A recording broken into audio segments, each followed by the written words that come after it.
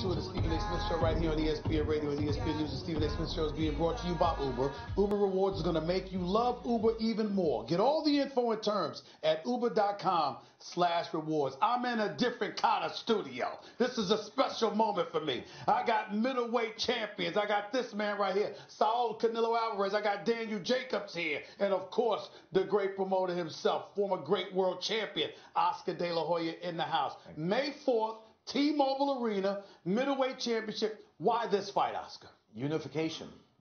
When you have a unified championship fight, you're putting all the belts on the line. Canelo, Jacobs, you're going to get a great fight. No doubt about it. With the Miracle Man, what he's been through, what he's gone through in life, the strength that he has, the obviously his uh, his technique and his abilities are amazing.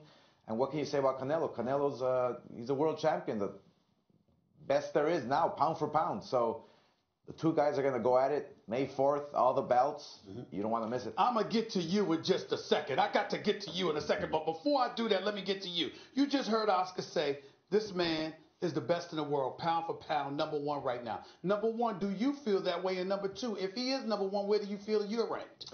Well, I don't. I can't really, and nor do I get into gauging myself into the rankings. That's for the fans' perspective. But for Canelo Alvarez, he is definitely, in my opinion, one of the best, if not the best, uh, in the in the division and in all of boxing. So, for my thing is though, I've always wanted to con- be the best, mm. and in order to do so, you have to beat the best. Mm. So this is why this fight is so big because we're both the two best middleweights in the division, and for us to go at it with our styles that complements each other, you know you're going to get action. How would you beat him?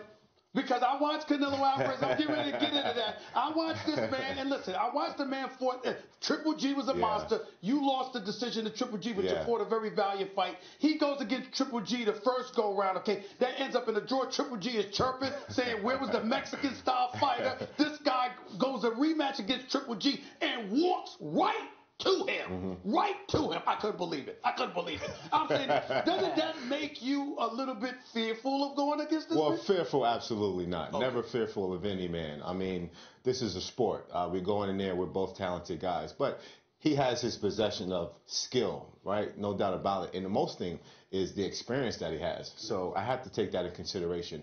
But the respect that I give is making sure that there's no stone unturned in training camp. Mm-hmm. The respect that I give is making sure that I prepare 100% so that I could be ready come fight night. So Canelo Alvarez, I think right now there's you're unquestionably number one in the world. I mean, your box office everywhere you go, we can't get enough of seeing you. How much did the matches against Triple G help you in your eyes to get to this point? No, creo que eh, esas y todas las peleas que he tenido me han ayudado para, para ser el peleador que soy hoy, un peleador completo, con, con, experiencia, con, con, confianza arriba del cuadrilátero, pero sin duda las peleas con Golovkin me ayudaron muchísimo también para tener más confianza arriba del cuadrilátero, pero eh, soy, un, soy un peleador que le gusta aprender pelea con pelea. Go ahead and interpret, every, fight, every fight, uh, every fight has given him the experience, but the Golovkin's fights obviously gave him that much more experience. But he's a fighter that loves to learn. He's a fighter that's growing and loves to learn. You know, it's interesting. And by the way, Oscar De La Hoya was interpreted for me. We don't have an official interpreter here. I got Oscar De La Hoya. I do it, it, all, it doesn't get much better than that. But but but Canelo, let me stay but, with but you. But you know what? I know, I know, I know how. If I was fighting Canelo, I know how to beat him. How would you beat him? Taking up a bat. Okay, I like that. I like that. I like that. Surprisingly, my, surprisingly, my right hand is called back. So that's right. We never right. You know, listen, and I'm coming back to you in a yeah. second. I'm coming back to you in a second. For you, for a while, we looked at you welterweight division. And then obviously you go to your middleweight, middleweight division. Now you bring your knockout power with you. I think that surprised some people. It really, really shocked me in the rematch against Triple G how you walk towards him. Was it because of his mouth or was it because of the fact that you wanted to prove to everybody, excuse me, I can be a slugger, I can walk right to you and take your punches, and we know I can give it. What was your agenda going into that rematch against Triple eh, Todo lo que, lo que rodeaba la pelea, pues obviamente me hizo todavía hacer ese tipo de pelea, ¿no? Pero eh, desde la primera pelea, después de la pelea vimos, sabíamos que se iba a ser la revancha. Entonces Eddie eh, y yo propusimos o dijimos que eh, a él se le tenía que pelear hacia adelante, ¿no? Hacia adelante y, era como más se le dificultaba y hicimos esa estrategia desde, la pensamos después de que hicimos la primera pelea. Yeah, every, everything surrounding the fight uh, made him fight that way, but uh, more so was his trainer. Eddie Reynoso, who came comes up with a game plan. He said that uh, in order to beat Triple G, you have to make him, you have to push him back. Mm-hmm. And that's exactly what they did. What about you? When you fought Triple G, A, was that your strategy? And B, do you think you can employ a similar strategy against this man? Well, here's the thing. Um, we both have experience with Golovkin's fight, but we're two totally different fighters. Explain so you, how. Oh, we're both boxer punchers, and we both possess different attributes. Okay. And with the Golovkin fight, he has his own style. So you can't expect for Golovkin or, excuse me, Canelo to have the same success. I'm a different style. You know, I can switch southpaw. I can go side to side. Canelo just comes, I'm sorry, uh, Golovkin just comes forward. Mm-hmm. So in preparing for that, you have to be ready for everything that I bring to the table. And I'm going to use a Jay Z quote that I love. So this is the mentality that I have going into the fight. If you want to bang, we could bang.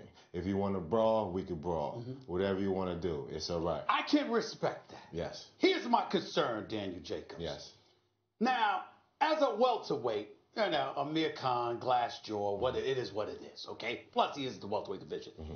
The man knocked out a dude by the name of James Kirkland who had that same kind of attitude, even though I predicted that, that he was going to get knocked out. Mm-hmm. We haven't found, there's an APB out for James Kirkland. I don't even know what the hell he is. We haven't seen him since Canelo put him to sleep. Okay, that was just an ugly, ugly knockout. Now, do you as a middleweight look at those guys and say, they're not me, they're smaller, they can't take a punch, they can't give it the way that I give it?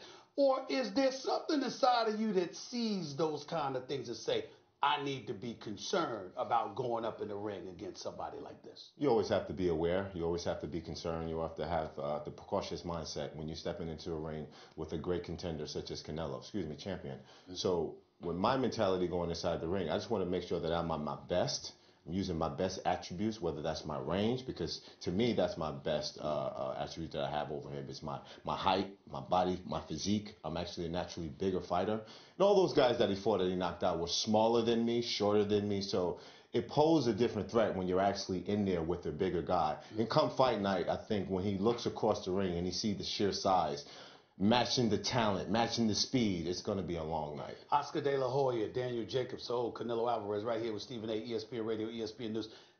Oscar, how important is this fight to boxing? It's it's uh, just as important as uh, watching a heavyweight unification fight, like back in the old days, for instance, when Mike Tyson was fighting with, when Muhammad Ali was fighting. This this fight here, the middleweight division is the division. The best is going up against the best. There's no doubt about it. When people talk about boxing, they go back to Sugar Ray Robinson, mm-hmm. who was the middleweight champion of the world. Mm-hmm. This is the equivalent uh, of being the Super Bowl of boxing. I'm going to stay with you for this second, Oscar. Here's what I love about this fight neither y'all are undefeated. Mm. You know why I love that? Because I thought we got to a point, particularly in the quote unquote Floyd Money Mayweather era, where people thought if you had one loss on your resume, somehow that took away the luster of a marquee boxing matchup. But y'all are reminding us, excuse me, even with a loss, or in your case too, on your resume, you can still be elite. It can still be a mega fight. Do you feel that way? Do you feel that's an important message to send to the public when we look at this, this the landscape of boxing look, today? My my motto in boxing is, if you don't have a loss, you haven't been fighting the very best. Mm. Easy as that. Plain and simple. I like that. I like that. And I know where you're going with that, but I'm not going to take it there. Oscar De La Hoya. So Canelo Alvarez, Daniel Jacobs right here with Stephen A. ESPN Radio, ESPN News. So you go up against Daniel Jacob. Talk to me about what you know about this fighter and, and, and what concerns you about going up against him? No, obviamente sé, sé todo, ¿no? Sé el peleador que es, sé la calidad que tiene como peleador, sé que eh, lo he visto pelear, es un peleador que se maneja muy bien arriba del cuadrilátero, maneja las dos guardias, un peleador fuerte. Y, y, y, eso a mí me motiva, eso me gusta. ¿Por qué? Porque me gustan los retos y, y, pelear siempre con lo mejor. Eso es lo que me gusta y darle a la, a la gente grandes peleas. A lo que le preguntabas a Oscar, eh, no, no, no que importe tanto si cuidar tu, tu invicto o no. Aquí son peleas donde puedes perder, puedes empatar, puedes ganar. ¿no? Pero uh, lo importante es dar las mejores peleas y que quedes satisfecho también contigo mismo. He said, muy bien that's very good. He said, importante, that's important. and he said, I, know, I know those three words, I got it going. Go ahead, Oscar, interpret that for no, me. No, no, he, he knows he knows everything about Daniel Jacobs. And, and, and, and the reason why he's so motivated is because he loves the challenges. Mm -hmm. You know, and, and, and, and, and he goes back to what I had said. Look, I mean, if you're going to fight great fighters, if you're going to be involved in great fights, you're either going to win, lose, or draw. Mm-hmm. That's the bottom line. And so these types of challenges motivate Canelo, and that's why he's in this sport because he, he loves training hard and getting motivated for these types of challenges. I'll get the response to this question from you and you, Oscar and Daniel. If Canelo loses this fight, he's still Canelo Alvarez people will look for a rematch. People will still, he's still very popular, etc., etc. If Daniel loses this fight, we don't know what may happen. I think he'll still be fighting. He'll still be winning most of his fights, etc., etc. If he were to lose, I'm talking about the politics of the sport. That's sure, what I'm sure, alluding sure, to. Sure. So I'm asking you this question. When you go into a fight like this and seeing the imbalance in terms of popularity, I mean, you had folks following him when he was in your backyard right here in New York promoting the fight. How much do you believe, or in what way do you believe that affects the fighter that isn't perceived as being as popular? Well, I, I think I think the way it affects him uh, uh, is is in a positive way, you okay. know, in in a, in a motivating motivating way. You know, I mean, I remember when I was a fighter, if if somebody didn't like me, I wanted to train harder and and and and, and be at my very best. And beat him up, Fernando Vargas. Go so, ahead. but but look, I mean, it's like if they beat Tiger Woods in golf, it still doesn't make you Tiger Woods. Mm-hmm. Tiger Woods is still Tiger Woods. Mm. You know, so you ask me if, let's say, something happened and Canelo lost, mm-hmm. right? Because Jake was, you know, was the better man that night. Mm-hmm. Well, he's still Canelo Alvarez. Right. You know, he's he's still he's still that Tiger Woods. But what about him? And Daniel Jacobs becomes a superstar mm-hmm. because of Canelo Alvarez. Right. But now now you have a great rivalry. That's right. Speak on that. I think he's absolutely true. Um, and the politics of boxing is out of my control. I just do my job, and the fact that I'm in this position really, really motivates me because being the superstar that he is, going inside that, I think being successful, no controversy, and being decisive with my victory, I think I can snatch all of that that's on that side. You weren't the popular fighter against Triple G. Right. I remember you feeling like you won that fight. Right. You didn't get the judges. Mm-hmm. Okay?